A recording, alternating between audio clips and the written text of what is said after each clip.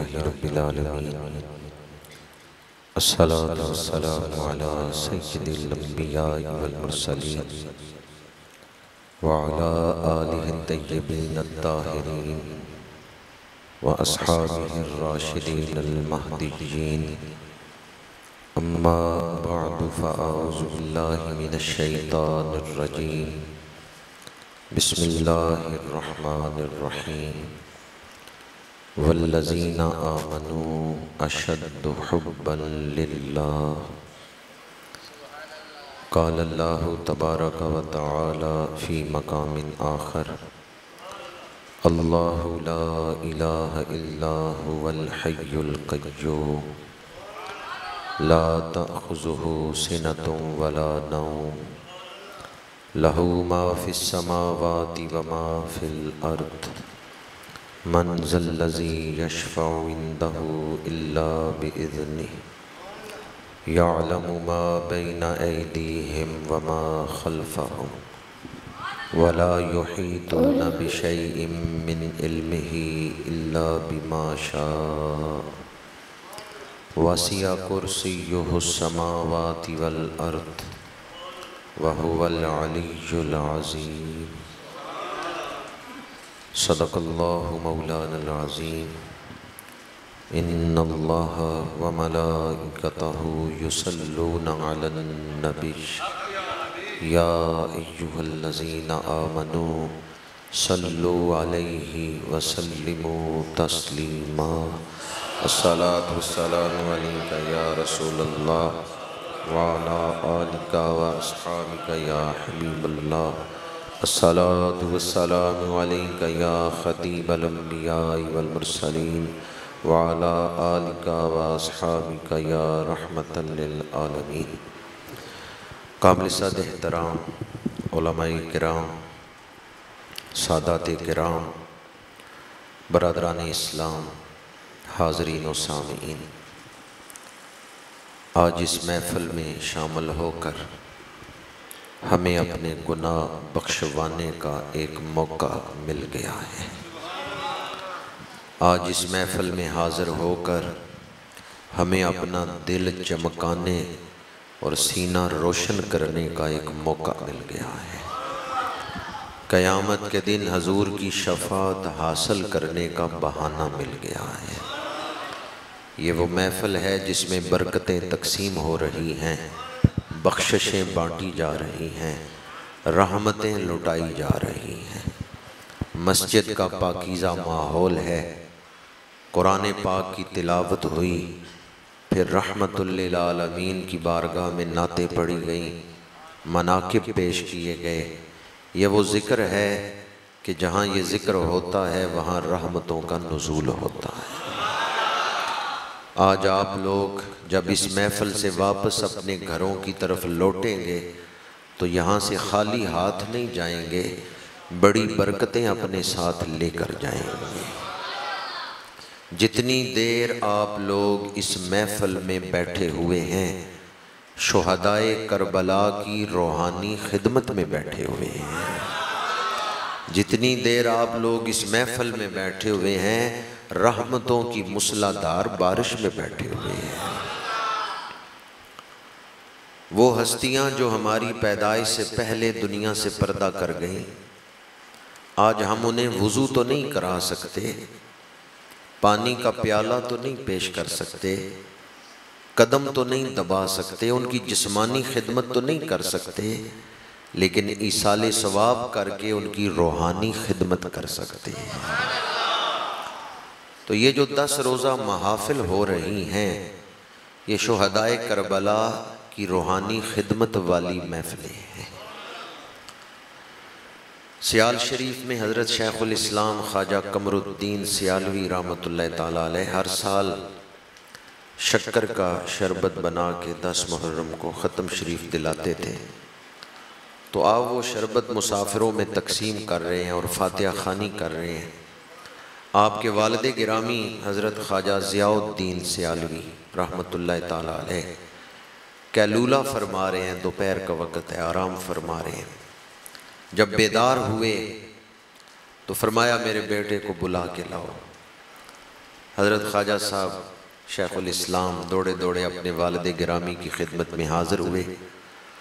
تو خواجہ خواجگاں، خواجہ ضیاء الدین سیالوی رحمۃ اللہ تعالیٰ علیہ نے فرمایا ابھی خواب میں امام علی مقام تشریف لائے تھے۔ اور آپ نے فرمایا کہ قمر الدین نے جو شربت بھیجا ہے وہ بڑا میٹھا ہے۔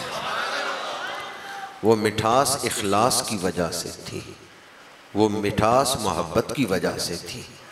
آپ جتنی محبت کے ساتھ ان محفلوں میں شامل ہوں گے، اتنے ہی خوبصورت تحفے امام علی مقام کی بارگاہ میں پہنچیں گے۔ آپ جتنی اچھی نیتوں کے ساتھ، جتنے حسن نیت کے ساتھ ان محفلوں میں حاضر ہوں گے، اتنے ہی پھولوں کے گلدستے شہدائے کربلا کی بارگاہ میں پیش ہوں گے۔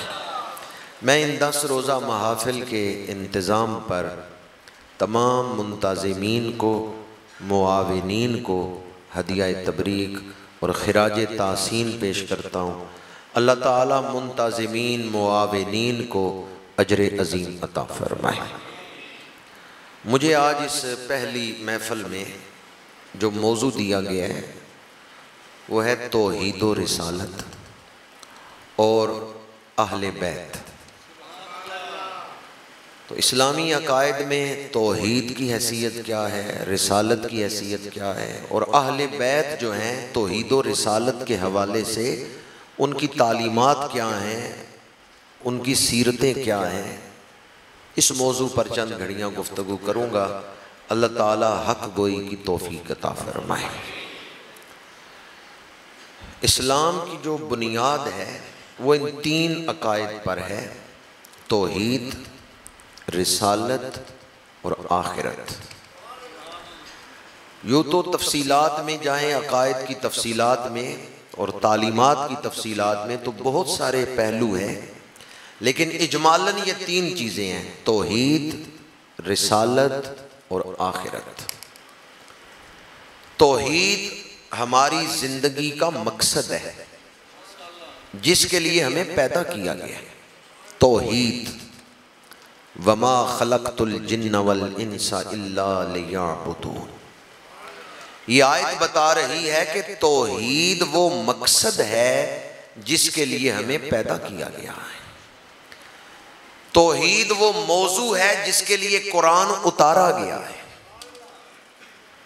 قرآن کے نزول کا مقصد توحید کو منمانا ہے۔ اور اللہ نے کم و بیش جو سوا لاکھ نبی بھیجے ہیں، سارے نبیوں کی آمد کا مقصد توحید کو منوانا ہے۔ وہ کتنا خاص موضوع ہے، جس کے لیے اللہ نے کم و بیش سوا لاکھ نبی بھیجے۔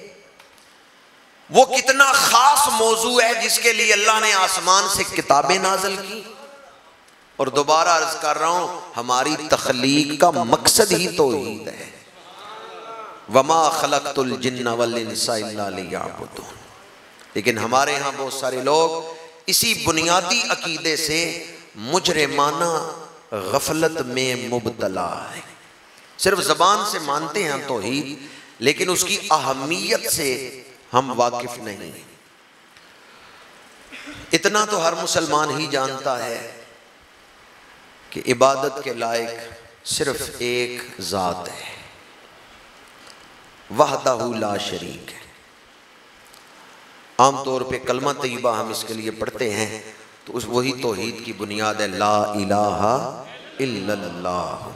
لا الہ الا اللہ۔ کوئی عبادت کے لائق نہیں۔ سوائے اللہ کے۔ توحید کا مطلب کیا ہے؟ ایک ثابت کرنا۔ توحید کا مطلب کیا ہے؟ ایک ثابت کرنا۔ آپ اگر کہیں بھی میدان میں خالد بھی کھڑا ہے، تو اس کا مطلب کیا ہے؟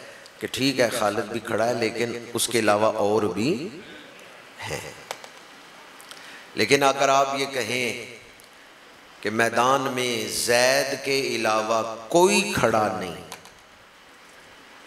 تو یہ توحید ہے۔ سب سے نفی کر کوئی اور کھڑا ہی نہیں، کوئی اور وہاں موجود ہی نہیں، موجود ہی ایک ہے۔ جب سب سے نفی کر کے ایک ذات میں مضمون ثابت کیا جائے گا، وہ توحید لا الہ، نفی پہلے ہے۔ نہ سورج رب ہے، نہ چاند الہ ہے، نہ پتھر الہ ہے، نہ پانی الہ ہے، نہ ستارے عبادت کے لائق ہیں۔ نہ کوئی نبی اور ولی اس لائق ہے کہ اس کی عبادت کی جائے۔ لا الہ۔ کوئی مخلوق عبادت کے لائق ہے ہی نہیں۔ عبادت کے لائق صرف اور صرف ہے تو وہ ہے جو خالق ہے۔ توحید کا مضمون سمجھنے کے لیے یہ بنیادی بات ہے، یا ایو ناسو بدو ربا کو ملزی خالہ کا کم سورہ بکرہ کی آیت نمبر اکیس۔ پہلا پارا سورت بکرہ آیت نمبر اکیس۔ معبودیت کا میرٹ سجدے کے لائق کون ہے؟ جو خالق ہے۔ یا ایو ناسو بدو ربا کو ملزی خالہ کا کوئی مخلوق عبادت کے لائق نہیں۔ سورج مخلوق ہے، چاند مخلوق ہے۔ ستارے مخلوق ہیں، پانی مخلوق ہے، رسول، ولی۔ جو مخلوق ہے، وہ الہ نہیں ہے۔ جس کو بنایا گیا ہے، وہ عبادت کے لائق نہیں۔ ہم شرک نہیں کرتے، ہم آل سنت و جماعت۔ ہم مانتے ہیں، رسول مخلوق ہے اللہ اللہ نے ان کو بنایا ہے۔ اولیاء مخلوق ہیں اللہ کی۔ اللہ نے ولیوں کو پیدا کیا۔ اللہ لا شریک ہے، وہ خالق ہے سب کا۔ وہ ہماری عقل سے بلند ہے۔ تو جو مخلوق ہے، وہ عبادت کے لائق، عبادت کے لائق وہ ہے جو خالق۔ ہے اس لیے کچھ صفتیں ایسی ہیں جو اللہ تعالیٰ کی ذات کے ساتھ خاص ہیں۔ جب آپ وہ صفتیں کسی مخلوق میں لائیں گے، تو پھر شرک ہو جائے گا، پھر توحید ختم ہو جائے گا۔ ان میں پہلی چیز تو لا الہ الا اللہ، عبادت کے لائق صرف اللہ ہے۔ اللہ کے سوا کوئی عبادت کے لائق نہیں۔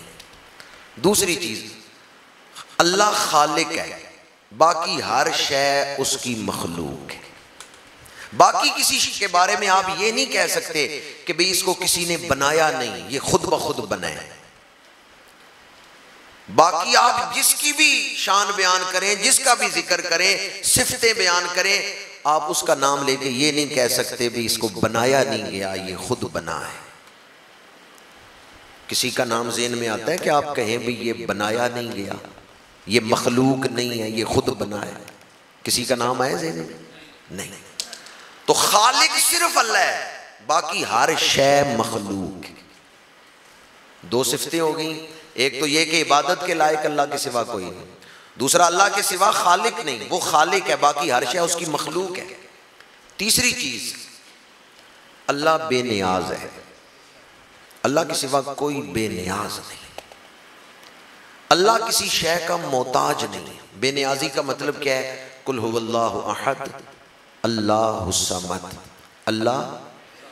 جب ہم بے نیاز کا ترجمہ کرتے ہیں تو بعض لوگ سمجھتے ہیں شاید اللہ بے پرواہ ہے. تو بے پرواہ اور چیز ہے، بے نیاز اور چیز ہے. فرق آپ کو پتہ ہے بے نیاز میں اور بے پرواہ میں. بے پرواہ تو اسے کہتے ہیں جسے پرواہ کوئی نہ ہو. اللہ کو تو ہماری پرواہ ہے. وہ تو رحمان ہے، وہ تو رحیم ہے، وہ تو پردہ پوشی کرنے والا ہے. وہ تو ارحم الراحمین ہے، وہ تو کریم ہے. وہ تو ہماری ضرورتیں پوری کر رہے ہیں۔ وہ رب ہے۔ وہ ہماری پرواہ کرنے والا ہے۔ اللہ سمد کا مطلب یہ ہے، اللہ کسی شے کا محتاج نہیں۔ ہمیں پیاس لگتی ہے، پانی کی ضرورت ہے۔ اللہ کو ضرورت ہے پانی کی۔ ہمیں بھوک لگتی ہے۔ اللہ کو بھوک لگتی ہے۔ ہمیں موسمی اثرات سے بچنے کے لیے کپڑوں کی ضرورت ہے۔ اللہ کو کوئی لباس کی ضرورت ہے۔ ہمیں چھت کی ضرورت ہے یا پیروں کے نیچے جس پر چل سکے، زمین کی موتاجی ہے ہمیں، کوئی چیز نیچے ہو جس پر پیر رکھیں۔ اللہ نہ چھت کا موتاج ہے، نہ زمین کا موتاج ہے۔ اسے کسی شے کی موتاجی ہے ہی نہیں۔ ہم بے ساکھیوں پہ کھڑے ہیں۔ سانس لینے کے لیے آکسیجن کی ضرورت ہے۔ صرف پانچ منٹ کے لیے کوئی سانس بند کر دے نا۔ منہ پہ ہاتھ رکھ لے، سانس نہ چلے، بندہ مر گیا۔ کیوں؟ ہم محتاج ہیں آکسیجن کے۔ ہم چل رہے ہیں آکسیجن کے ساتھ۔ ہم سانس کی موتاجی کے ساتھ چل رہے ہیں۔ اللہ موتاج ہے۔ یہ ہے اسمت کا مطلب۔ اللہ بے نیاز ہے۔ صرف ایک ذات ہے جو کسی کی موتاج نہیں، باقی بڑے سے بڑی ہستی اللہ کی موتاج ولی اللہ کے محتاج ہے نبی اللہ کے محتاج ہے بڑی شان ہے ولیوں کی اور بڑی شان ہے نبیوں کی، پر ان کی جو بھی شانیں ہیں وہ اللہ کی دی ہوئی ہیں۔ ہم نبیوں اور ولیوں کی تعظیم کرتے ہیں، عبادت نہیں کرتے۔ کیا کرتے ہیں؟ تعظیم یہ ہے کہ اللہ نے ان کو جو عزت دی ہے، جو شانیں دی ہیں کولو فیل سے ان کو ماننا، اظہار کرنا۔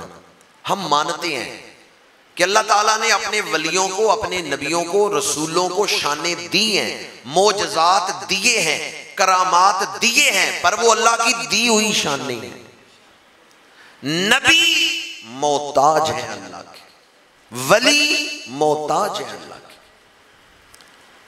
سرکار سید الشہداء امام علی مقام کی ایک دعا آپ کو سنا حرم میں آپ بیٹھے ہیں کعبہ شریف کے سامنے۔ امام علی مقام، شہید اعظم۔ امام علی مقام دعا مانگ رہے ہیں۔ پروردگار، جو شخص مالداری میں تیرا محتاج ہے، وہ فقر و فاقے میں تجھ سے بے نیاز کیسے ہو سکتا ہے؟ بعض لوگ ہوتے ہیں نا، جن کے پاس مال آ جاتا ہے، کاروبار اچھا چل پڑتا ہے، تو وہ کہتے ہیں، آپ مجھے اللہ کی محتاجی نہیں، میں انڈیپینڈنٹ ہو گیا ہوں۔ وہ سمجھتے ہیں اب مجھے میرا کاروبار بڑا چل گیا ہے، اب مجھے ضرورت نہیں رہے گی دعا کی۔ سرکار سید الشہداء شہید کربلا امام علی مقام کی دعا ہے۔ کعبہ شریف کے سامنے بیٹھ کے آپ دعا کر رہے ہیں۔ پروردگار، جو شخص مالداری میں، تونگری میں جبکہ دولت اس کے پاس وافر ہے، جو اس حال میں بھی تیرا محتاج ہے، وہ فقر و غربت میں تجھ سے بے نیاز کیسے ہو سکتا ہے؟ امام علی مقام نے فرما دیا، چاہے امارت ہو، چاہے غربت ہو، انسان ہر حال میں اللہ کا محتاج کسی حال میں بھی انسان یہ نہیں کہہ سکتا اچھا جس زمین پہ آپ بیٹھے ہیں، یہ آپ نے خود بنائی ہے؟ یہ زمین بنائی کس نے ہے؟ جس ہوا میں سانس لے رہے ہیں، یہ ہوا تخلیق کس نے کی ہے؟ سورج کی روشنی جس میں زندگی گزارتے ہیں، یہ سورج کس نے بنایا ہے؟ تو ہم پھر کتنے محتاج ہیں اللہ کے۔ اللہ کسی شے کا محتاج نہیں۔ آیت الکرسی کے مقدس کلمات میں نے تلاوت کیے اللہ لا الہ الا ہو۔ اللہ وہ ہے کہ اس کے علاوہ کوئی عبادت کے لائق نہیں۔ الحی القیوم۔ الحی۔ ایک ہوتا ہے حیون، قیومن۔ ایک ہے الحی۔ جب حی پہ الف لام آ گیا تو اس کا مطلب یہ ہے کہ زندہ ہے تو صرف اللہ ہے۔ اللہ کے سوا جسے زندگی ملی ہے وہ اللہ کی دی ہوئی زندگی گزار رہا ہے۔ اللہ کے سوا کوئی ذاتی طور پہ زندہ اللہ نے جس کو زندگی دی ہے اسے زندگی ملی ہے۔ ذاتی زندگی ہے تو کس کی ہے؟ اللہ منبع ہے حیات کا، وہ الحی ہے۔ یہ الحی کا ترجمہ میں آپ کو سنا رہا ہوں۔ قرآن پاک کی زبان بڑی فصاحت والی زبان ہے، بڑی بلاغت والی زبان ہے، عربی زبان۔ الحی۔ وہ زندگی کا مبدع ہے، منبع ہے۔ اللہ کے سوا جو بھی زندہ ہے، وہ اللہ کی وجہ سے زندہ ہے۔ آگے فرمایا، القیوم الحی القیوم۔ وہاں بھی الف لام آیا ہے۔ خالی قیومن نہیں آیا، القیوم۔ قائم بذات ہے تو اللہ ہے۔ یعنی اپنی ذات کے ساتھ قائم ہے تو اللہ ہے۔ باقی جو بھی قائم ہے وہ اللہ کی وجہ سے قائم ہے۔ زمین قائم ہے، سورج قائم ہے، ستارے قائم ہے ایک نظام چل رہا ہے، اس نظام کو قائم کس نے رکھا ہوا ہے؟ اس نظام کو کس نے قائم رکھا ہوا ہے؟ میں جو مضمون بیان کر رہا ہوں نا، قبر میں جاتے ہوئے پہلا سوال ہی یہ ہوگا، من ربو کا اس لیے بڑی توجہ کی ضرورت ہے اس مضمون پر۔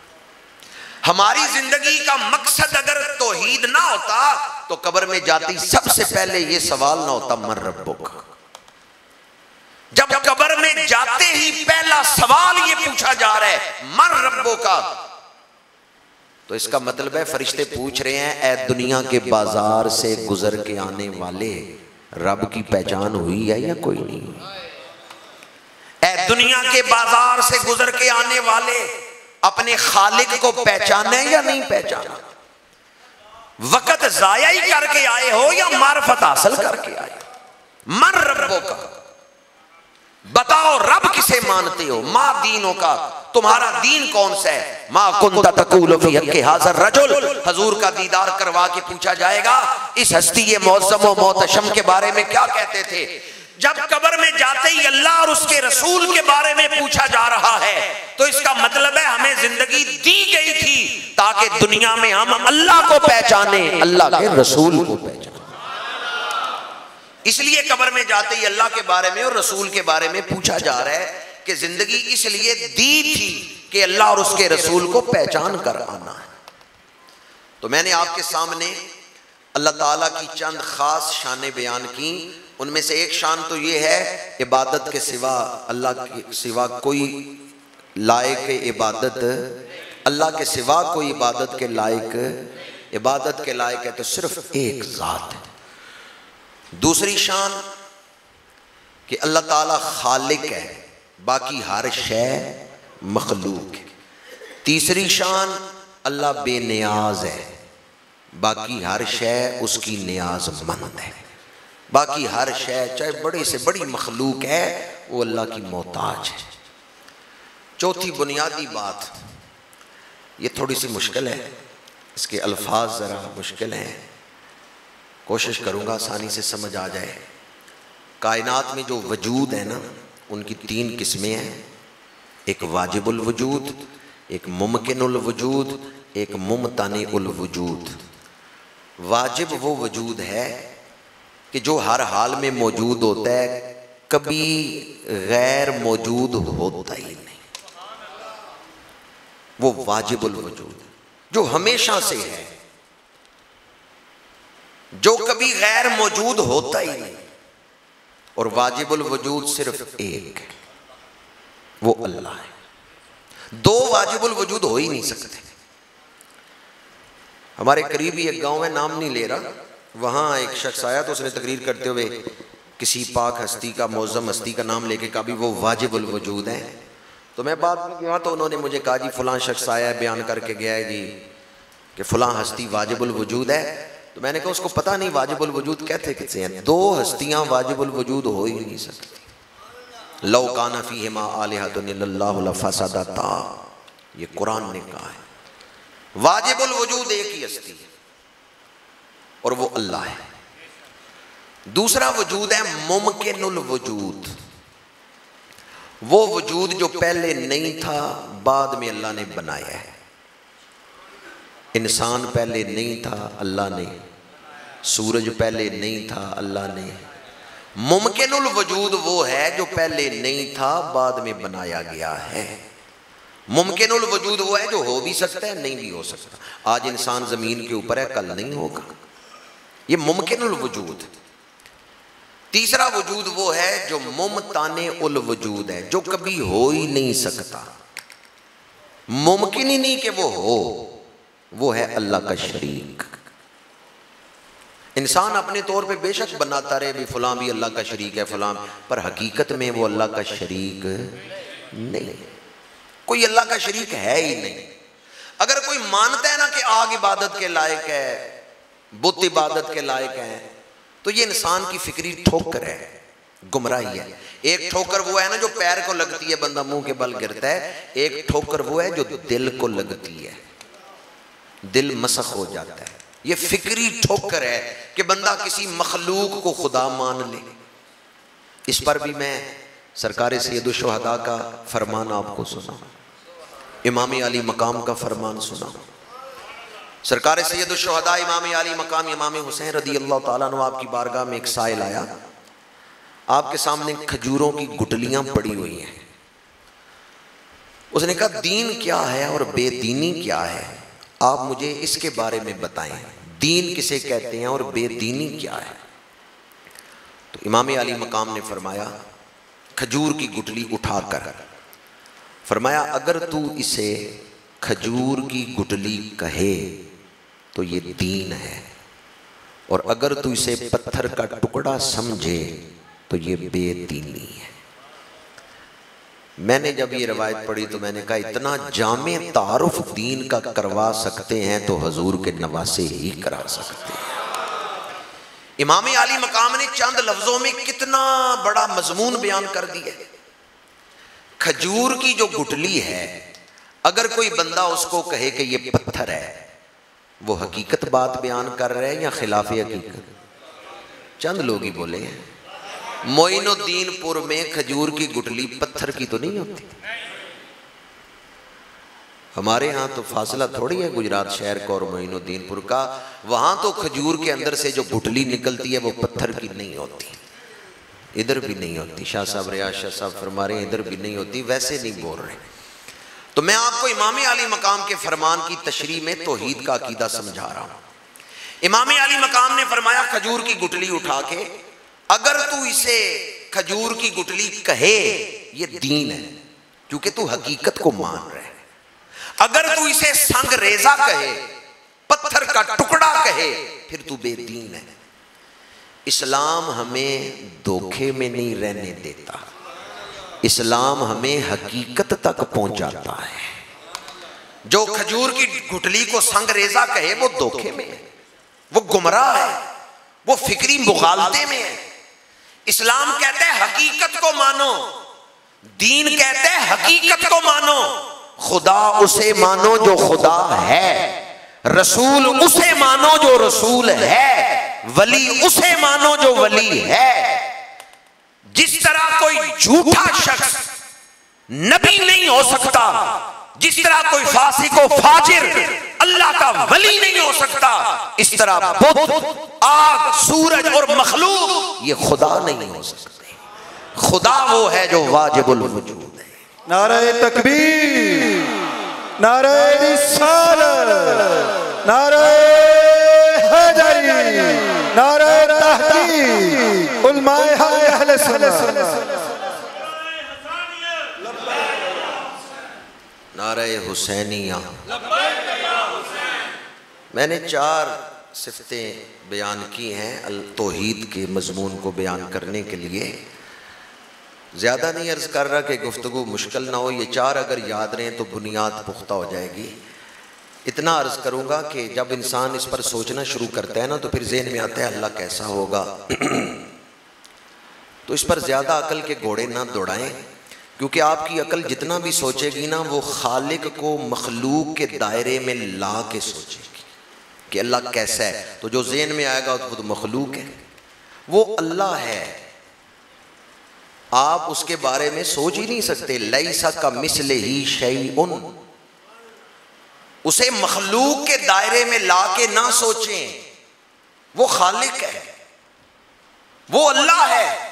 اس کو اس کی شانوں کے مطابق سوچیں۔ اور حضور حیدر قرار کا فرمان اس سے میں مدد لے رہا ہوں اس مضمون کو بیان کرنے کے لیے۔ شیر خدا کا فرمان ہے، من دل ذات ذات ہی اللہ کی ذات، اللہ کی ذات کے ذریعے ہی سمجھی جا سکتی ہے۔ اللہ کی ذات ہی دلیل ہے اللہ کی ذات پر۔ تو اس لیے زیادہ عقل کے گھوڑے نہ دوڑائیں کہ اللہ کیسا ہے، اور اس کے حوالے سے زیادہ سوچے پچار نہ کریں۔ ایک جملہ بس یاد رکھیں۔ ہم ایک ایسی ذات کو مانتے ہیں جو ہماری عقل سے بلند ہے۔ سمجھ کے دائرے میں نہیں آ سکتی، وہ ایک ایسی ذات ہے۔ ہم اس دنیا میں ان فانی آنکھوں سے اسے دیکھ نہیں سکتے، لیکن اسے محسوس کیا جا سکتا ہے۔ میں ایک دفعہ ناروے گیا تو وہاں اسکول کی کلاسیں مسجدوں میں آتی ہیں۔ ناروے جو ہے یہ ریلیجیس اسٹیٹ ہے، مذہبی ریاست ہے، عیسائیوں کی ریاست ہے۔ تو اسکولوں کے بچے وہ مسجدوں میں بھی بھیجتے ہیں، چرچوں میں بھی بھیجتے ہیں مذہب کی معلومات کے لیے۔ وہ بچے پھر آ کے سوال بھی کرتے ہیں، تو میں تو وہاں وزٹ پہ گیا ہوا تھا۔ ایک سوال ان بچوں نے کیا جو اسکولوں سے آئے تھے کہ جی کیا ہم اللہ کو اپنی آنکھوں سے دیکھ سکتے ہیں؟ اگر نہیں دیکھ سکتے تو پھر ہم نہیں مانتے۔ اگر دیکھ سکتے ہیں تو پھر بتائیں۔ کیونکہ وہ سارے غیر مسلم تھے۔ میں نے کہا کہ آپ دنیا کی ہر شے کو دیکھ سکتے ہیں۔ ہم تو دنیا کی ہر چیز کو نہیں دیکھ سکتے۔ مثلا کھانا آپ کے سامنے پڑا ہوا ہے، ذائقہ دیکھ سکتے ہیں۔ کہتے ہیں نا، میں چکھ کے بتاتا ہوں کیسا بنا ہے۔ میں گھر والی نے کھانا بنا کے رکھا ہے، وہ پوچھتی ہے، ابھی کیسا بنا ہے؟ اب کہتے ہیں، میں نے ابھی چکھا نہیں، چکھ کے بتاتا ہوں۔ تو دیکھ کے کیوں نہیں بتا دیتے؟ ہر چیز آنکھ کی رینج میں۔ یہ اصولی غلط ہے کہ ہر چیز آنکھ کی رینج میں آ جائے۔ چیزوں کا ذائقہ آنکھ کی رینج میں نہیں آتا۔ امام غزالی نے کیمیائے سعادت میں احیاء علوم الدین میں لکھا ہے، اللہ دل کی آنکھ سے نظر آتا ہے۔ تو جو اس دنیا میں اندھا ہے یعنی دل کی آنکھ نہیں رکھتا، وہ حشر کے میدان میں بھی اللہ کا دیدار نہیں کر سکے۔ یہ اصولی غلط ہے کہ ہر چیز ان مادی آنکھوں سے نظر آتی۔ جب آپ سوئے ہوئے ہوتے ہیں، نیند کی حالت میں خواب دیکھتے ہیں، ان آنکھوں سے دیکھتے ہیں۔ خواب کن آنکھوں سے دیکھتے ہیں؟ دل کی آنکھ۔ پتا چلا اندر بھی آنکھیں ہیں، جنہیں بصیرت کہتے ہیں۔ اندر بھی آنکھیں ہیں، جنہیں فراست کہتے ہیں۔ سب کچھ یہ آنکھیں ہی نہیں، یا صرف یہ آنکھیں ہی نہیں جب بندہ سویا ہوا آتا ہے، نیند کی حالت میں یہ آنکھیں تو بند ہیں۔ اور آپ خواب دیکھتے ہیں اور اٹھ کے سناتے ہیں، فلاں فلاں آیا تھا، میں نے خواب میں دیکھا ہے، اس طرح کے کپڑے پہنے ہوئے تھے، رنگ بھی دیکھے۔ ان آنکھوں سے دیکھنے کے لیے انہیں کھولنا ضروری ہے۔ اگر اس وقت آپ یہ آنکھیں بند کریں، سامنے بیٹھا ہوا بندہ نہیں نظر آئے گا۔ کھولیں گے تو نظر آئے گا۔ جب آپ سوئے ہوئے ہیں، آنکھیں تو بند ہیں، تو خواب کیسے دیکھ رہے ہیں؟ پتا چلتا ہے، اندر بھی آنکھیں ہیں۔ ان آنکھوں کو بیدار کریں۔ اگر کسی کی وہ آنکھیں اس دنیا میں بیدار ہو جائیں اللہ کے ذکر کے ساتھ، اللہ اسے کشف کی شان عطا کر دے، وہ قبروں کے حالات دیکھ لیتا ہے۔ وہ فرشتوں کی زیارت کر لیتا ہے۔ اللہ اسے نبیوں کی زیارت عطا فرما دیتا ہے۔ مدینہ منورہ میں جماعت منزل پہ، پیر جماعت علی شاہ صاحب علی پوری رحمۃ اللہ تعالیٰ علیہ، ان کے نام پر ہے مدینہ منورہ میں جماعت منزل۔ وہاں پیر سید مسکین شاہ صاحب رحمۃ اللہ تعالیٰ علیہ سے ملاقات ہوئی۔ انہوں نے ایک واقعہ سنایا جس میں انہوں نے فرمایا، مجھے حضرت امام حسن مجتبہ رضی اللہ تعالیٰ عنہ کی زیارت ہوئی۔ تو جس کی دل کی آنکھیں روشن ہو جاتی ہیں نا، اللہ پھر اپنے پیاروں کا دیدار اسے عطا فرما دیتا ہے۔ یہ اصولی مادہ زدوں کی طرف سے غلط ہے کہ آنکھوں سے خدا دکھائیں۔ ہر چیز ان آنکھوں سے نہیں دیکھی جاتی جس طرح کھانے کا ذائقہ نہیں دیکھا جاتا۔ ہوا یہاں موجود ہے جس میں ہم سانس لے رہے ہیں، پر نظر آ رہی ہے کتنی چیزیں ایسی ہیں جنہیں ہم محسوس کرتے ہیں، دیکھ نہیں سکتے۔ کتنی چیزیں ایسی ہیں جنہیں محسوس کی، ہوا کو ہم محسوس کرتے ہیں، پر ہوا نظر تو نہیں آتی۔ ایک عورت چرخہ چلا رہی تھی، تو اس سے فقہ کے ایک امام ہے انہوں نے پوچھا کہ تو اللہ کو مانتی ہے۔ اس نے کہا، مانتی ہوں۔ چونکہ اس زمانے میں کوئی لوگ مانتے تھے، کوئی نہیں مانتے تھے۔ مشترکہ معاشرہ تھا، مسلمان بھی ہیں، غیر مسلم بھی ہیں۔ انہوں نے پوچھا، تو اللہ کو مانتی ہو اس نے کہا، مانتی ہوں۔ ایک خدا کی عبادت کرتی ہوں۔ کہا کیسے مانتی ہو کوئی دلیل؟ اس نے کہا، یہ چھوٹا سا چرخ ہے۔ یہ میں چلاتی ہوں تو چلتا ہے۔ نہیں چلاتی تو نہیں چلتا۔ اتنی بڑی کائنات کسی کے چلانے کے بغیر خود بخود کیسے چل رہی ہے آپ ایک کاغذ پہ لکھائی دیکھیں کہ کچھ لکھائی ہوئی ہے۔ تو آپ یہ کہہ سکتے ہیں کہ قلم خود بخود بن گیا اور کاغذ خود بخود بن گیا اور قلم خود بخود کاغذ کے اوپر آ گیا اور خود بخود ہی قلم نے لکھنا شروع کر دیا اور یہ جملہ قلم نے لکھ دیا۔ کہہ سکتے ہیں؟ لکھائی دیکھ کر لکھنے والے کو آپ مان لیتے ہیں۔ چاہے لکھنے والا سامنے نہیں، لیکن کاغذ کے اوپر لکھائی دلیل ہے کہ کوئی لکھنے والا ہے۔ لکھائی دیکھ کر لکھنے والے کو مان لیتے ہیں، اتنی بڑی خدائی دیکھ کر۔ بنانے والے کو نہیں مانتے تو میں نے آپ کے سامنے جو اب تک مضمون بیان کیا ہے، چار شانے اللہ تعالیٰ کی، جو خاص ہیں اللہ کے ساتھ۔ وہ مخلوق میں سے کسی کی طرف ہم منسوب کر ہی نہیں سکتے۔ وہ چار خاص شانے بیان کی ہیں۔ زیادہ نہیں عرض کر رہا کہ گفتگو بہت جلنا اور وقت بھی زیادہ نہ گزرے۔ اور دوسری بنیادی بات میں نے آپ کے سامنے یہ عرض کی ہے کہ اللہ تعالیٰ کی ذات کی نشانیوں کو دیکھا جا سکتا ہے، محسوس کیا جا سکتا ہے اس کی ذات کو۔ ان سر کی آنکھوں سے اس دنیا میں ہم اس کا دیدار نہیں کر سکتے۔ ہاں آخرت میں اس کا دیدار ہوگا۔ اللہ تعالیٰ کی ذات کا ذکر کیا، اب اس کی صفات۔ جس طرح ذات میں کوئی شریک نہیں، اس طرح اللہ کی صفتوں میں بھی کوئی شریک نہیں۔ ہم اللہ کی ذات کو بھی لا شریک مانتے ہیں، اللہ کی صفات کو بھی لا شریک مانتے ہیں۔ اب آپ کہیں گے بھی ہم تو مانتے ہیں، نبی علم غیب رکھتے ہیں، اللہ ولیوں کو فراست عطا کرتا ہے۔ تو آپ کس طرح کہتے ہیں کہ اللہ کی صفتوں میں کوئی شریک نہیں ہے۔ مردے زندہ کیے ہیں حضرت عیسیٰ نے۔ مردے زندہ کرنا تو اللہ کا کام ہے۔ تو حضرت عیسیٰ نے مردے زندہ کیے ہیں۔ نبیوں کے معجزات ہم مانتے ہیں۔ تو پھر لا شریک کیسے ہوگی؟ صفتوں میں لا شریک اللہ کیسے ہوا؟ دوبارہ عرض کر رہا ہوں، جیسے ہم اللہ کی ذات میں کسی کو شریک نہیں مانتے، اس کی صفتوں میں بھی کسی کو شریک نہیں مانتے۔ صفتوں میں وہ لا شریک کیسے ہے؟ نبیوں سے جو شانیں ظاہر ہوتی ہیں یا ولیوں سے، یہ اللہ کی دی ہوئی صفتیں ہیں۔ لیکن اللہ کے پاس جو صفتیں ہیں، وہ ذاتی ہیں، وہ کسی کی دی ہوئی۔ اس لیے وہ لا شریک ہے۔ کہ نبیوں کے پاس جب صفتیں ہیں کہ مردوں کو زندہ کر رہے ہیں، ڈوبے سورج کو پلٹا رہے ہیں، پتھر سے کلمہ پڑھا رہے ہیں، تو یہ شان کس نے دی ہے؟ اللہ نے دی ہے۔ یہ ذاتی طور پہ نہیں، اللہ کی دی ہوئی ہے۔ تو اللہ کو کس نے دی ہے؟ اللہ کی تو ذاتی ہے۔ اللہ کی ذات میں یہ صفتیں ہیں۔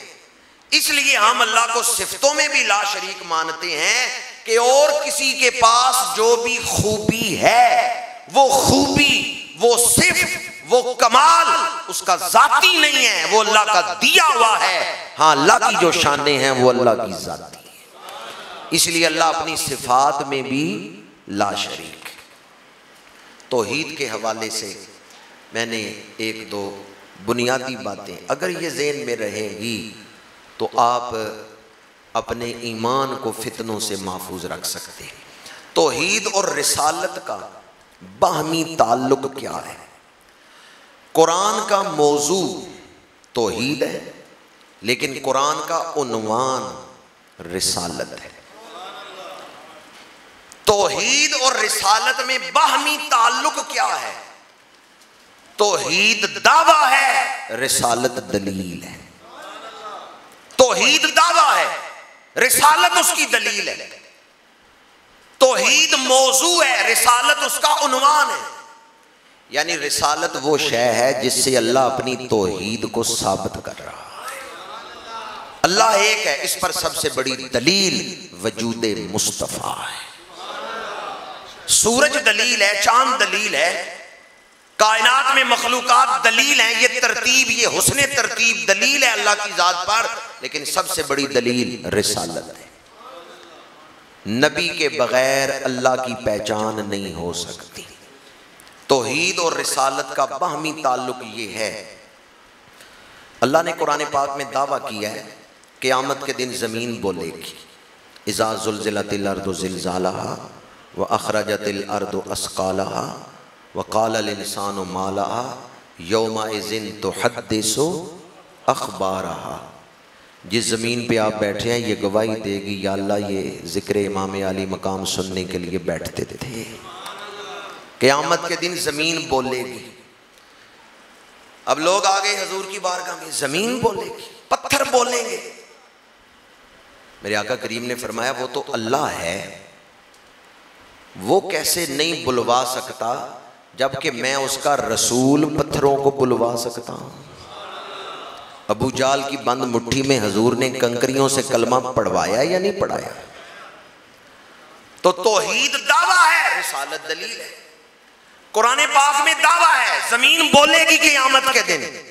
میرے آقا کریم نے اس کی دلیل دی ہے، ابو جال کی مٹھی میں کنکریوں نے کلمہ پڑھ کے سنایا۔ تو توحید و رسالت کا باہمی تعلق یہ ہے۔ اللہ کی ذات کی معرفت ہو ہی نہیں سکتی جب تک رسالت کی غلامی نہ اپنائی جائے۔ ممکن ہی نہیں کہ کوئی اللہ تک پہنچے۔ طالب علم ہوں، پر جانتا ہوں ممکن کا لفظ کہاں بولا جاتا ہے۔ ممکن ہی نہیں کہ کوئی اللہ کو راضی کر سکے، کوئی اللہ تک پہنچے۔ کوئی اللہ کی صحیح معرفت حاصل کر سکے، یہ ممکن ہی نہیں جب تک رسول کی غلامی اختیار نہ کرے۔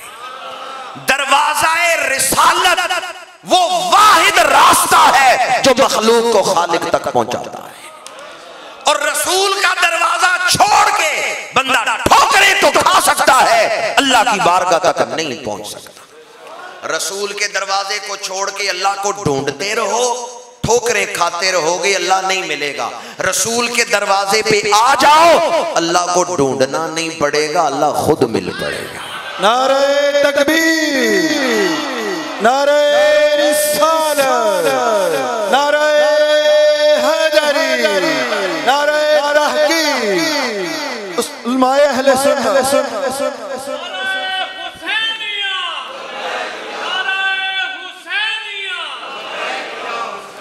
توحید اور رسالت کا بہمی تعلق اللہ اور اس کے رسول کی ذات میں فرق ہے۔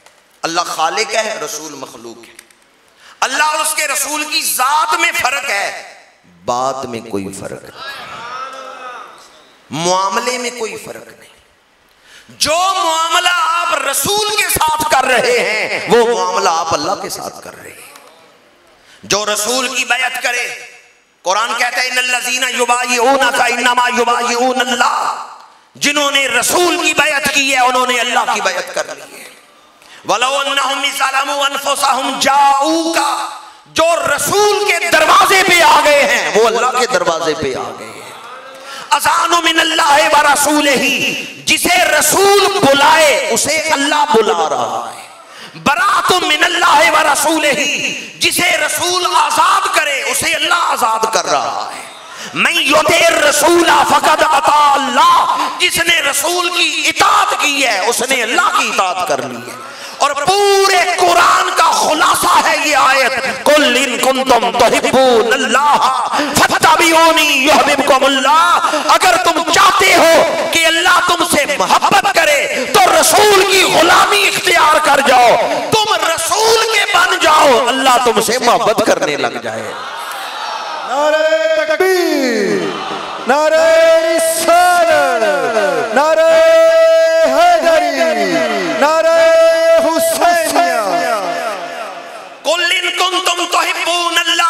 اللہ فتبعونی یحببکم اللہ. یہ توحید اور رسالت کا بہمی تعلق ہے. زیادہ بات نہ بھی یاد رہی، ایک جملہ یاد رکھیں، اللہ اور اس کے رسول کی ذات میں فرق ہے، پر بات میں کوئی فرق. معاملے میں کوئی فرق. جو معاملہ آپ رسول کے ساتھ کر رہے ہیں، وہ اللہ کے ساتھ کر رہے ہیں. چونکہ یہ اللہ کے بھیجے ہوئے ہیں. اللہ تو اونٹنی بھیجے نا. حضرت صالح علیہ السلام نے دعا مانگی تھی تو ایک اونٹنی پتھر سے پیدا ہوئی تھی۔ اللہ نے اس اونٹنی کا ادب فرض کر دیا۔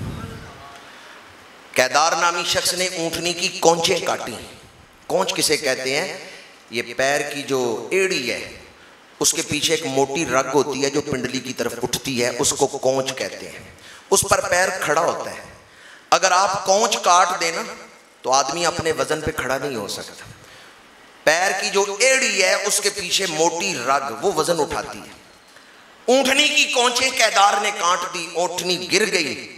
فدم دم علیہم ربہم بزنبہم فسوا اللہ نے اس پوری قوم کو اٹھا کے زمین پہ پٹخ دیا۔ انہوں نے رسول پہ تلوار چلائی تھی یا رسول کے موجزے پہ؟ اونٹنی پہ تلوار چلائی۔ وہ اونٹنی جو رسول کی دعا سے پیدا ہوئی ہے۔ اس اونٹنی کی بے ادبی کی اللہ کا عذاب آ گیا۔ جب رسول کی اونٹنی کا ادب اتنا ہے تو خود رسول کا ادب کتنا ہو اس لیے یہاں بڑے ادب کی اور بڑی احتیاط کی ضرورت ہے۔ رسول اللہ کا ذکر کرنا ہے تو لفظ بھی خاص بولنے ہیں۔ عام لفظوں سے نہیں کرنا۔ کیونکہ یہ اللہ کے رسول ہے کسی اور کے منہ سے نکلے تو تھوک کہہ سکتے ہیں۔ نبی پاک کے دہن پاک سے نکلے تو اسے لواب دہن شریف۔ اور میں محض جذبات میں نہیں لفظ بول رہا، بڑے تحمل سے اور اپنا قیدہ بیان کر رہا ہوں۔ آب زمزم، آب کوثر، جنتی مشروبات ایک طرف پڑے ہوئے ہوں، ایک طرف حضور کا لواب دہن ہو اور مجھے کوئی کہے بھی ان دو میں سے ایک کو لے سکتے ہو، دونوں کو نہیں۔ یا لواب دہن اٹھا لو، یا آب کوثر یا آب زمزم۔ میں اور سارے مشروبات چھوڑ دوں گا نبی کے لواب دہن کو سب سے قیمتی پانی لواب دہن مبارک ہے۔ اس لیے اب اس کا ذکر کرنا ہے تو لفظ عام نہیں بولنے، یہ رسالت کا ادب ہے۔ پیروں میں آگے جوڑے، گائے کے چمڑے کے نالین۔ فتح عالمگیری میں اگر کسی نے نالین کو نویل کہا، کافر ہو جائے گا۔ ایمان ختم ہو گیا۔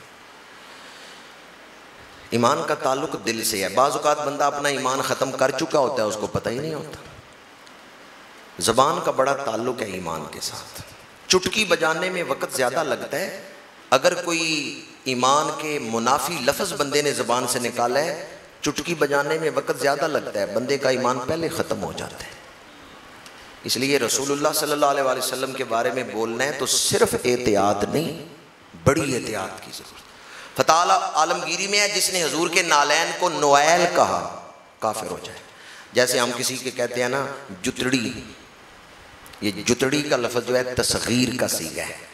اگر حضور کے نالین پاک کے لیے بولا، ایمان ختم ہو جائے نالین کا ادب کرنا ہے انہیں نالین کہنا ہے نالین شریفین اور پیشاب کو بول مبارک۔ اور یہ مبارک کا لفظ بھی بے ساختہ نہیں، میں کہہ رہا، سوچ سمجھ کے کہہ رہا ہوں۔ اور حقیقت یہ ہے کہ حضور کا بول بھی مبارک ہے، کیونکہ وہ رسول اللہ ہے۔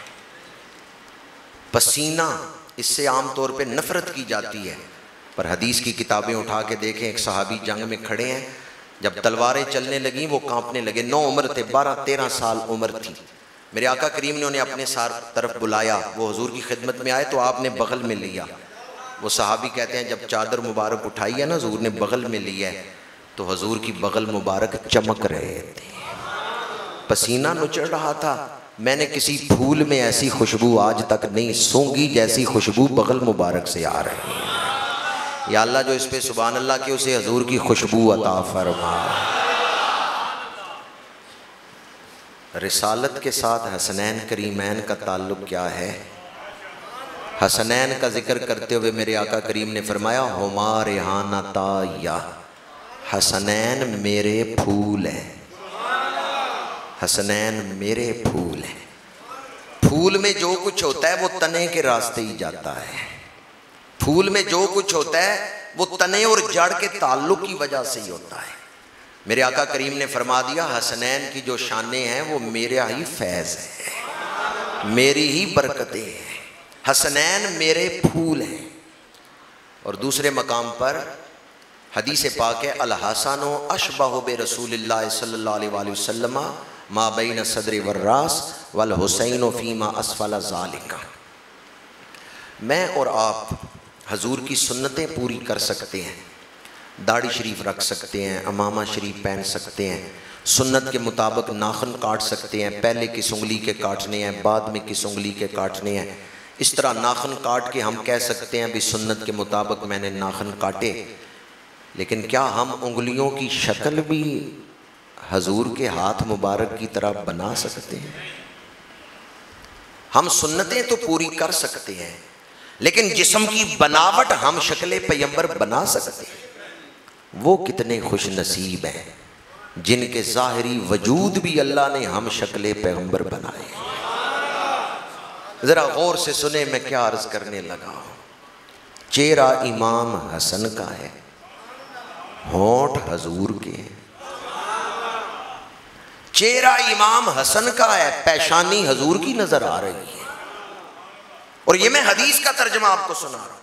الحسنو اشبہ بے رسول اللہ صلی اللہ علیہ وآلہ وسلم ما بین صدر والراس سر سے لے کے سینے تک امام حسن حضور کے مشابہ ہیں اور سینے سے لے کے قدمین تک امام حسین حضور کے مشابہ ہیں۔ دونوں شہزادے اکٹھے کھڑے ہوں۔ تصویر مصطفیٰ نظر آتی۔ ہے بریلی کے تاجدار نے اسی لیے کہا، معدوم نہ تھا، سایہ شاہ سدلین اس نور کی جلوہ گاتی ذات حسنین، تمثیل نے اس نور کے دو حصے کر دیے، آدھے سے بنے حسن، آدھے سے حسین۔ دونوں شہزادے اکٹھے کھڑے ہوں۔ کسی نے نعرہ بلند کیا تھا؟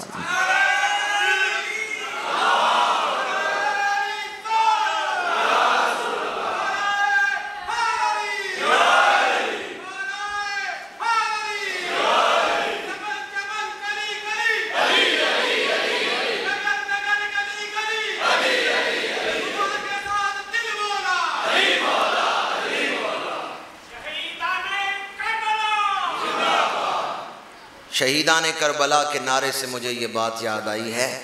ایک یہ ہے کہ بندہ صرف مومن ہے اور فضائل اس کو حاصل نہیں۔ ہاں شہید ہوا ہے تو شہادت کی وجہ سے اب اس کو فضیلتیں مل گئی اور دوسری صورت یہ ہے کہ جو شہید ہو رہا ہے وہ شہادت سے پہلے ہی بڑے فضائل کا مالک ہے۔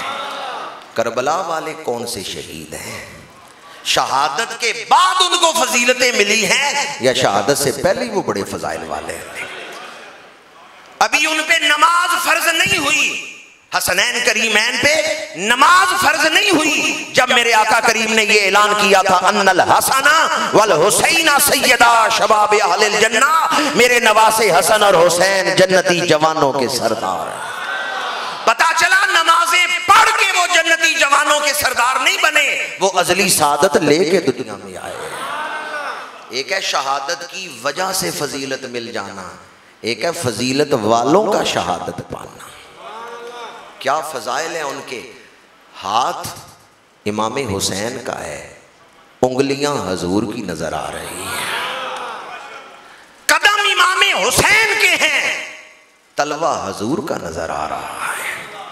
بریلی کے تاجدار اسی لیے کہتے ہیں، کیا بات رضا، اس چمنستان کرم کی، زہرا ہے کلی جس میں حسین اور حسن کیا بات رضا؟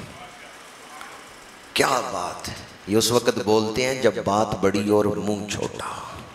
بات بیان کرنے کا حق نہ ادا ہو سکتا۔ مضمون بڑا ہو اور علم تھوڑا۔ ہو یہ کون کہہ رہے ہیں کہ میرا علم تھوڑا ہے اور ان کی شان زیادہ ہے؟ وہ اعلیٰ حضرت جو بحر العلوم ہے، جو علم کا سمندر ہے۔ جو مرجع العلماء ہیں جن کے شاگرد صدر الافاضل ہیں وہ بریلی کے تاجدار کہتے ہیں۔ اللہ نے مجھے دین کی بڑی سمجھ عطا کی ہے پر میرے پاس اتنا علم نہیں کہ میں حسنین کی ساری شانیں بیان کر سکوں۔ میں مانتا ہوں میرا علم تھوڑا ہے حسنین کی شانیں بلند ہیں۔ اس لیے اعلیٰ حضرت نے لکھا کیا بات ہے؟ کیا بات ہے؟ صحیح لکھے اعلیٰ حضرت نے یا نہیں؟ کیا بات رضا اس چمنستان کرم کی؟ زہرا ہے کلے۔ شیخ الاسلام حضرت خواجہ قمر الدین سیالوی رحمۃ اللہ تعالیٰ علیہ، آپ کی محفل میں ایک شخص نعت خانی کر رہا تھا، پھر مناقب پڑھنے لگا۔ اس نے کہا جی میں اب سیدہ نساء العالمین کی منقبت پڑھنے لگا ہوں۔ جب اس نے کہا نا، میں سیدہ پاک کی منقبت پڑھنے لگا ہوں۔ تو حضرت شیخ الاسلام خواجہ قمر الدین سیالوی رحمۃ اللہ علیہ نے فرمایا، ٹھہر جاؤ، رک جاؤ۔ وہ رک گیا۔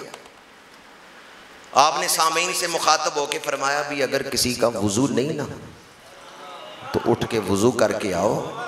ہم نے حضور کی پیاری بیٹی کا ذکر بغیر وضو کے نہیں سنا۔ یہ ہیں اہل سنت کے بزرگ۔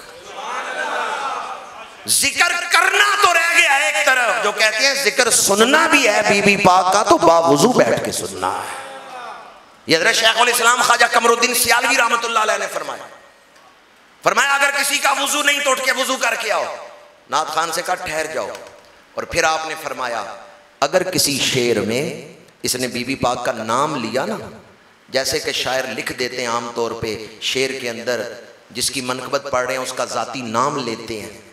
تو حضرت خواجہ قمر الدین سیالوی رحمۃ اللہ علیہ نے فرمایا، اگر کسی شعر میں اس نے بی بی پاک کا نام لیا، تو یوں سینہ تان کے سر اٹھا کے نہیں سننا، نگاہیں جھکا کے سننا۔ بی بی پاک کا نام آئے، نگاہیں ادب سے جھکا لیں۔ حشر کے دن تو سارے جھکائیں گے۔ ہمارے بزرگوں نے فرمایا، دنیا میں ان کا نام بھی آ جائے تو ادب سے نگاہیں جھکا لا۔ دنیا میں ذکر تو آل بیت کا کوئی بھی کر سکتا ہے۔ ذکر کوئی بھی کر سکتا ہے، پر اگر اس ذکر میں ادب نظر آئے گا تو آل سنت کی محفلوں میں نظر آئے۔ گا اگر ان پاک ہستیوں کے ذکر کا ادب آپ کو نظر آئے گا، تو ان محفلوں میں نظر آئے گا۔ اور میں ہاتھ جوڑ کے عرض کروں گا، وہ ہستیاں بہت بڑی ہیں، ان کا ذکر یوں نہ کیا کریں کہ میں علی پڑھن لگا ہوں۔ شاید میں نے اپنی زندگی میں کبھی یہ نام بغیر لقب کے لیا ہو، ورنہ میں تو جب کہتا ہوں کہتا ہوں، حضور حیدر کرار، سیدنا علی المرتضی، حضرت مولا علی۔ ہمارے، میں تو ایک طالب علم ہمارے جو علماء ہیں، بزرگ ہیں انہیں پڑھ کے دیکھیں یا ان کی تقریریں سن کے دیکھیں، ہمارے ہاں رواج نہیں ہے بغیر لقب کے نام لینا۔ ہم نام لیتے ہیں تو ادب کے۔ ہماری اوقات کیا ہے؟ ان کا نام لینا ہے تو ادب سے لینا ہے۔ ان کی نسبت کا خیال رکھنا ہے۔ نسبت کی بات ہی آپ کو سمجھانے لگا ہوں۔ باپ اگر بیٹے کو ناراض ہو تو ہو سکتا ہے یا نہیں ہو سکتا؟ باپ کا مقام زیادہ ہے۔ بیٹے کو جھڑکنا چاہے تو جھڑک سکتا ہے یا نہیں جھڑک سکتا؟ وہ غصے بھی ہو سکتا ہے، تھپڑ بھی مار سکتا ہے۔ لیکن حضور حیدر قرار شیر خدا کرم اللہ وجہ الکریم کبھی حسنین کو ناراض نہیں ہوئے۔ ایک غلام نے پوچھا، ایک خادم نے پوچھا، تو حضور حیدر قرار نے فرمایا، ٹھیک ہے حسنین، میرے بیٹے ہیں، پر حضور کے نواسے بھی تو ہیں۔ میں کیسے سمجھا سکتا ہوں اس ادب کو؟ کیونکہ خود میرے اپنے جذبات ہی میری زبان کا ساتھ نہیں دے رہے۔ اے حیدر قرار میں کہاں سے لفظ لاؤں جو آپ کے ادب کو بیان کر سکے؟ کہ آپ نے رسول اللہ کا ادب کتنا کیا؟ ہم نے ادب کا نام سنا ہے، لیکن حضور حیدر قرار شیر خدا نے جتنا ادب کیا نا رسول اللہ کا، ہم نہیں بیان کر سکتے میں کہاں سے وہ لفظ لاؤں جو حضور حیدر قرار کے ادب کو بیان کر، ادب رسالت کو؟ عید نامہ لکھ رہے ہیں۔ آپ لکھ رہے ہیں معاہدہ، صلح کا معاہدہ حدیبیہ کے میدان میں۔ تو جو مکے سے سفیر آیا، اس نے کہا، رسول اللہ کا لفظ مٹا دو۔ شیر خدا نے مٹایا قلم رکھ دی ہے کالی کا قلم رسول کے لفظ کو مٹا نہیں سکتا۔ اے شیر خدا، آپ کے ادب کو یہ غلام سلام پیش کرتے ہیں۔ آپ نے اعلان فرمایا ہے، سلونی اما شیتم۔ جو پوچھنا ہے پوچھو، میں جواب دوں گا۔ لیکن حضور کے وصال کے باب فرمایا حضور کی موجودگی میں وصال سے پہلے نہیں فرمایا اور کوفے میں جا کے فرمایا، مسجد نبی میں نہیں فرمایا۔ کیا ادب ہے شیر خدا کا؟ ہم نے ادب کا نام سنا ہے شیر خدا نے ادب کر کے دکھایا۔ ادب سکھایا ہے امت کو۔ شیر خدا نے اللہ آپ سب کو حج نصیب کرے۔ حج کی مختلف نیتیں ہوتی ہیں، ایک تمتو ہے، ایک کران ہے، ایک افراد ہے۔ وقت نہیں، میں تشریح کروں، صرف نام آپ کو بتا رہا ہوں۔ تمتو، کران، افراد، یہ مختلف نیتیں ہیں۔ جب آپ حج پہ جائیں گے نا، آپ میں سے کوئی، تو انشاءاللہ اس وقت میں آپ کو اس کی تفصیل بتا دوں۔ جو لوگ حج پہ جاتے ہیں، انہیں پتا ہوتا ہے وہ کیا نیت کر رہے ہیں۔ میرے آقا کریم، جب حج پہ تشریف لے گئے، آپ مدینہ منورہ سے گئے۔ حضرت علی شیر خدا کرم اللہ وجہ الکریم یمن سے آئے۔ آپ اس وقت یمن میں تھے۔ اب میکات سے گزرتے ہوئے نیت کرنی ہے کہ کون سا حج کرنا ہے۔ میرے آقا کریم نے حج کران کی نیت کی ہے۔ شیر خدا مکے میں آ گئے ہیں، حضور مکے میں پہنچ گئے ہیں، ملاقات ہوئی۔ میرے آقا کریم نے فرمایا کہ شیر خدا کس حج کی نیت کی ہے؟ تمتو کی، افراد کی، کران کی۔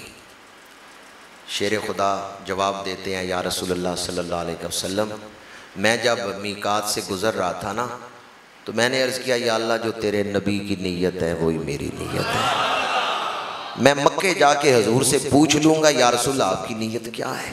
حضور، آپ بتا دیں، جو آپ کی نیت ہے، میں وہی کر کے آیا اے شیر خدا، آپ کے ادب کو یہ غلام سلام پیش کر آپ نے امت کو ادب رسالت سکھا دی ہے۔ آپ نے امت کو ادب بارگاہ رسالت سکھایا فرمایا، حسنین میرے بیٹے ہیں، میرے لال ہیں، باپ بیٹے کو ناراض ہو سکتا ہے پر میں کیوں نہیں حسنین سے اس طرح ناراض ہوتا؟ یہ میرے بیٹے ہیں، پر حضور کے نواسے بھی تو ہیں۔ حضور کے نواسے بھی تو ہیں۔ اگر اس نسبت کا خیال رکھیں تو مرتے دم زبان پہ کلمہ جاری ہو جائے گا۔ اگر حضور کی اس نسبت کا توحید و رسالت کے حوالے سے چند ایک پہلو میں نے آپ کے سامنے بیان کیے، میدان کربلا سے امام علی مقام امام حسین رضی اللہ تعالیٰ عنہ سرکار سید الشہداء توحید اور رسالت کے حوالے سے ایک ایک فرمان آپ کا میدان کربلا سے عرض کر رہا ہوں اور پھر گفتگو کو سمیٹوں گا۔ نو اور دس کی درمیانی رات۔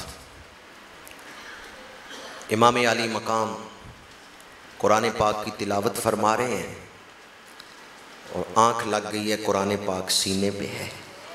حضرت بی بی زینب رضی اللہ تعالیٰ عنہ ثانی زہرا حاضر ہوئی ہیں تو وہ پاس بیٹھ گئی ہیں۔ امام علی مقام آرام فرما ہے۔ کچھ دیر بعد آنکھ کھلی۔ تو امام علی مقام کی آنکھوں میں آنسو تھے۔ فرمایا، ابھی خواب میں رسول اللہ تشریف لائے تھے۔ اور آپ نے میرے سینے پہ ہاتھ رکھ کے دعا مانگی ہے، اللہم آت الحسین صبرا و اجرا۔ اے اللہ، میرے نواز حسین کو صبر اور اجر عطا فرما۔ پتہ چلتا ہے امام حسین، امام علی مقام سرکار سید الشہداء کربلا میں ہیں، تو حضور کی توجہ نہیں ہے۔ حضور کی نگاہ میں ہے۔ دس محرم، لڑائی شروع نہیں ہوئی۔ جنگ سے پہلے، آپ کے غلاموں میں غلام ہے بریر بن خدیر۔ کربلا کے شہیدوں کے نام پڑھیں تو ان میں آپ کو یہ نام ملے گا۔ بریر بن خدیر۔ تفصیل میں نہیں جا رہا کیونکہ وہ میرا موضوع نہیں ہے۔ صرف اشارہ کر رہا ہوں، واقعہ آپ کو بریر کا ہی سناؤں گا۔ کربلا میں کم و بیش اٹھارہ صحابہ کرام شہید ہوئے ہیں۔ امام علی مقام سے پہلے اہل بیت پر رسول اللہ کے صحابہ نے اپنی جانیں قربان کی۔ اور اگر کبھی میں یہاں اس موضوع پر بیان کرنے کے لیے آیا کہ کربلا میں صحابہ کون سے شہید ہوئے ہیں تو پھر ان سب کی تفصیل عرض کروں گا۔ اہل تشیع کی کتابوں میں بھی ہے حبیب ابن مظاہر شہید ہوئے، مسلم بن اوسچا شہید ہوئے، حانی بن عروہ شہید ہوئے، عبداللہ بن حمیری شہید ہوئے، یہ سب صحابہ ہیں جن کے میں نام لے رہا اور میدان کربلا میں شہید ہوئے انس بن حارث حالکی، رسول اللہ کے صحابی ہیں، کربلا میں شہید ہوئے۔ وہ جو غزوہ حنین میں شامل ہیں، حضور کے ساتھ کافروں کے مقابلے میں جنگیں لڑتے رہے، شہید کربلا میں آ کے اور ایک صحابی وہ بھی کربلا میں شہید ہوئے ہیں جو بیت ردوان والوں میں سے صلح حدیبیہ کے موقع پر موجود تھے، شہید کربلا میں آ کے ہوئے۔ وہ میرا موضوع نہیں، اس لیے میں اس طرف نہیں جا رہا۔ صرف میں نے اشارہ کیا کہ کربلا میں شہادت سے پہلے بریر بن خدیر، یہ غلام ہے امام علی مقام کا۔ لڑائی شروع نہیں ہوئی۔ یہ مسکرا رہے۔ بریر بن خدیر نے ایک ہنسنے والی بات کی۔ تو ان کے پاس جو ساتھی کھڑے تھے وہ جلال میں آ گئے۔ انہوں نے کہا، بریر، تمہیں نظر نہیں آ رہا۔ کتنا سخت دن ہے، کیسا ہولناک دن ہے۔ اور تو ہنسنے والی بات کر رہے اب دل تھام کے سنے حضرت بریر بن خدیر نے جواب کیا دیا۔ انہوں نے کہا، میں نے سفر کیا ہے نواسۂ رسول کے ساتھ۔ دن رات گزارے ہیں نواسۂ رسول کے ساتھ۔ امام جہاں بیٹھتے تھے اللہ کا ذکر کرتے تھے۔ اللہ کی ایسی ایسی شانیں انہوں نے سنائی ہیں کہ میرے دل میں اللہ سے ملاقات کا شوق پیدا ہو گیا ہے۔ میں سوچتا تھا کب ملاقات ہوگی میری میرے رب سے۔ یہ شوق امام کی باتوں نے میرے دل میں پیدا کر دیا۔ اب جنگ شروع ہونے والی ہے، میں مسکرا اس لیے رہا ہوں، محبوب سے ملنے کا وقت قریب آ گیا۔ یہ کس نے کہا ہے؟ آقا نے یا غلام نے؟ یہ بریر نے کہا ہے، بریر بن خدیر۔ امام کی گفتگو توحید کے موضوع پر سن کے۔ امام علی مقام نے اللہ کی جو شان بیان کی مختلف مجلسوں میں، محافل میں، مقامات پر۔ دوران سفر جہاں آپ ٹھہرتے تھے، اللہ کا ذکر کرتے تھے۔ وہ مختلف محافل میں جو ذکر سنانا بریر نے اللہ کا، اللہ سے ملنے کا شوق پیدا ہو گیا۔ امام علی مقام سے اللہ کا ذکر سن کے بریر کے دل میں اللہ سے ملاقات کا شوق پیدا ہوا ہے تو خود امام کے اپنے دل میں شوق کتنا ہو؟ کربلا میں ظلم انتہا درجے کا ہوا ہے اس میں کوئی شک نہیں۔ لیکن مظلومیت کو فوکس کر کے امام کی باقی شانوں پہ پردہ نہ ڈال دیں۔ امام کی باقی شانیں امت کی نظروں سے چھپا نہ دیں۔ امام کی باقی شانیں بھی امت کے سامنے رکھیں۔ معتبر کتابوں میں یہ روایت موجود ہے۔ جو جو امام کی شہادت کا وقت قریب آ رہا تھا، امام کے چہرے کا حسن بڑھتا جا رہا تھا۔ حالانکہ غم جو ہے، وہ چہرے کو مرجا دیتے جیسے جیسے غم بڑھتا ہے نا، تو انسان کا چہرہ ڈھل جاتا ہے۔ کسی کا مرجایا ہوا چہرہ دیکھے تو ہم کہتے ہیں، بھی کیا غم ہے؟ کیوں چہرہ مرجایا ہوا؟ پتا چلتا ہے، دل میں غم ہو تو چہرہ مرجا جاتا ہے۔ پر جیسے جیسے شہادت کا وقت قریب آ رہا ہے، امام علی مقام کے چہرے کی رونق بڑھتی جا رہی ہے۔ سبب کیا تھا؟ اگر بریر کے دل میں محبوب سے ملنے کا اتنا شوق ہے، تو خود نواسا رسول کے دل میں کتنا شوق۔ داتا گنج بخش علی حجویری بہت بڑے عارف ہیں اللہ کے۔ حضور غوث پاک، جن کی ہم ہر مہینے گیارہویں شریف دلاتے ہیں، شہنشاہ بغداد بہت بڑے عاشق اور بہت بڑے عارف ہیں اللہ کے۔ حضرت خواجہ معین الدین چشتی اجمیری بہت بڑے عارف اور بہت بڑے عاشق ہیں اللہ کے۔ پر یہ تو ایک کرن ہے اس سورج کی جس کو حسین کہتے ہیں۔ کرنیں اتنی روشن ہیں تو سورج کی شان کیا۔ حضرت خواجہ معین الدین چشتی اجمیری حسینی سید داتا گنج بخش اور حضور شہنشاہ بغداد حسنی سید ہے یہ تو اس سورج کی کرنیں ہیں۔ کرنیں تو پھر بڑی شان والی ہیں، جن کے غلام اللہ کا شوق اتنا رکھتے ہیں کہ بریر کہتا ہے، شہادت کا وقت قریب آ گیا، میرا دل خوش ہے، بس اللہ سے ملاقات ہونے والی ہے۔ اقبال کی روح تڑپی، اقبال کہتا ہے، نشان مرد مومن باتو گویم۔ جو مرگ آیت، تبسم بر لبی اوست۔ امام علی مقام کا ایک اور فرمان آپ کو سنا رہا ہوں۔ جب ہر آیا امام کی خدمت میں اور توبہ کی، امام نے فرمایا، ہر دکھ بڑھتے جا رہے ہیں، لیکن میرے دل میں اطمینان ہے۔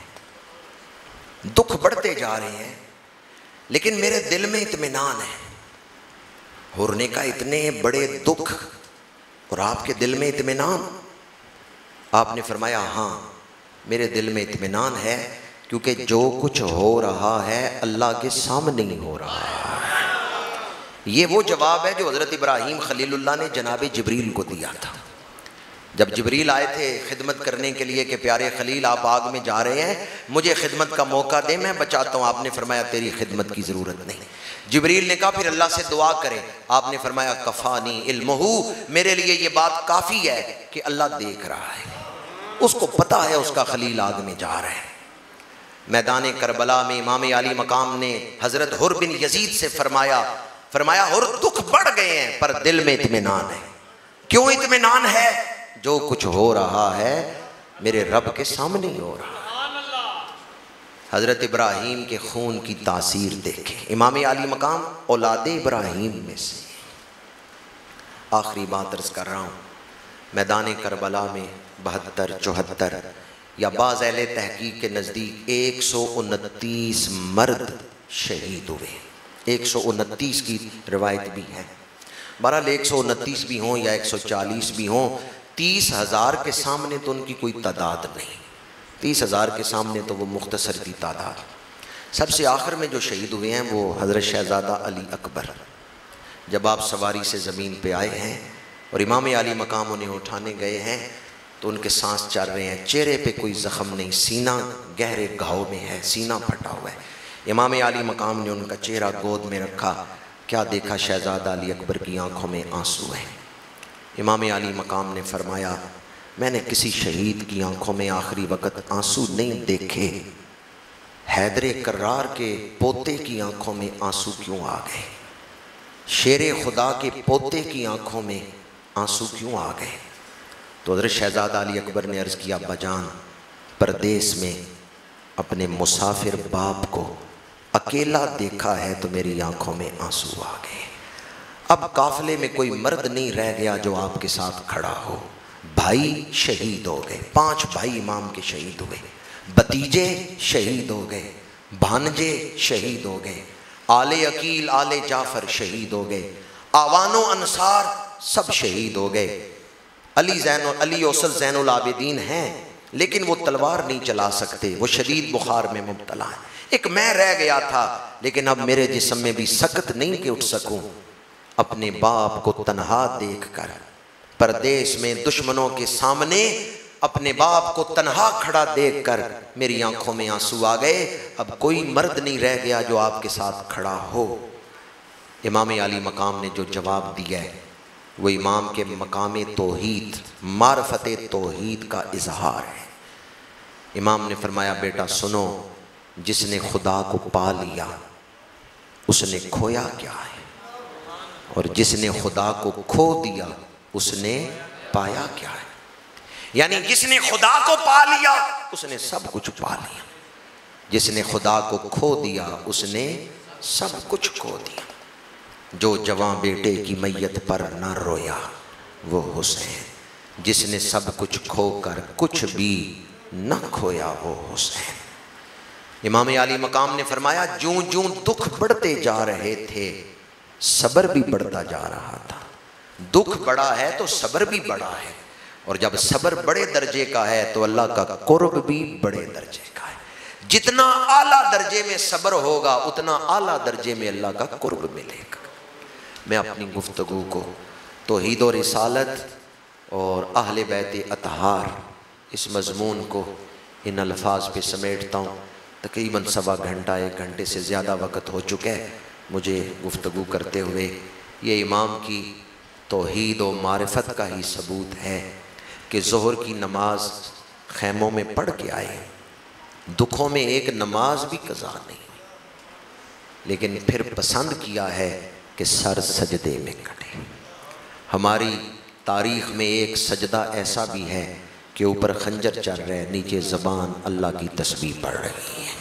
فض قرونی از تم میرا ذکر کرو، میں تمہارا ذکر کروں گا۔ تو جو تہے خنجر بھی اللہ کا ذکر کرتے رہے، آج مسجدوں کے ممبروں پہ ان کا ذکر ہو رہا ہے۔ کی محمد سے وفا تو نے تو ہم تیرے ہیں، یہ جہاں چیز ہے کیا لوہو قلم تیرے ہیں۔ وہ بھی کوئی دل ہے، جس دل میں دنیا کی ہر چیز کی محبت ہے، پر اللہ اور اس کے رسول کی محبت نہیں۔ دل وہی خوبصورت ہے جس میں اپنے بنانے والے کی محبت ہے۔ اللہ کی محبت ہے، اللہ کے رسول کی محبت ہے، اہل بیت اتحار کی محبت ہے، اصحاب کرام کی محبت ہے اور اللہ والوں کی محبت ہے۔ اللہ تعالی ہمیں اپنے محبوب کے نقش قدم پر اور محبوب کے پیاروں کے نقش قدم پر چلتے ہوئے زندگی گزارنے کی توفیق عطا فرمائے۔ امام علی مقام کے ایک شعر پر ہی گفتگو سمیٹ رہا ہوں۔ جب امام کو یزیدیوں نے مشورہ دیا کہ بیعت کر لیں، اب حالات آپ کا ساتھ نہیں دے رہے۔ اگر آپ نے بیعت نہ کی تو یہاں شہید کر دیے جائیں گے۔ تو امام نے فرمایا، وَإِن كَانَتِ الْأَبْدَانُ لِلْمَوْتِ اُنشِيَتْ فَقَتْلُ إِمْرَهِمْ بِالسَّيْفِ فِي اللَّهِ أَفْضَلُ۔ جب جسموں کے مقدر میں بوسیدہ ہونا لکھ دیا گیا ہے۔ جب جسموں کے مقدر میں موت کا فیصلہ کر دیا گیا ہے کہ ایک نہ ایک دن ہم نے موت کے دروازے سے گزرنا ہے، تو دشمنوں سنو، ہم جیئیں گے، تو اللہ کے حکموں کے مطابق زندگی گزاریں گے اور جان دیں گے، تو اللہ کے راستے میں دیں گے۔ یہ ہے توحید کی تعلیم جو میدان کربلا میں امام نے پیش کی ہے۔ وَإِن كَانَتِ الْأَبْدَانُ لِلْمَوْتِ اُنشِيَتْ فَقَتْلُ إِمْرَائِمْ بِالسَّيْفِ فِي اللَّهِ أَفْضَلُ جیئیں گے تو اللہ کے حکموں کے مطابق زندگی گزاریں گے اور جان دیں گے تو اللہ کے راستے میں دیں گے۔ اللہ تعالی ہمیں اسی عقیدے کے ساتھ زندگی گزارنے کی توفیق عطا فرمائے، ایمان کامل نصیب فرمائے اور ایمان پر خاتمہ نصیب فرمائے۔ لوئے لوئے پر لے کڑیے، جے تد پانڈا پرنا شام پئی بن شام محمد کر جاندی نے ڈرنا وما علینا الا البلاغ۔